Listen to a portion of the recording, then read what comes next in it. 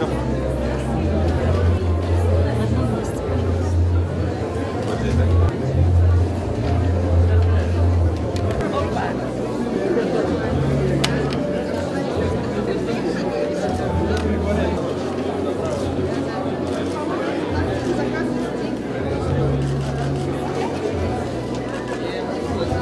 Уважаемые делегаты, было изготовлено 251 бюллетень выдано 248 бюллетеней по числу присутствующих делегатов. При вскрытии урн обнаружено 4 недействительных бюллетеня.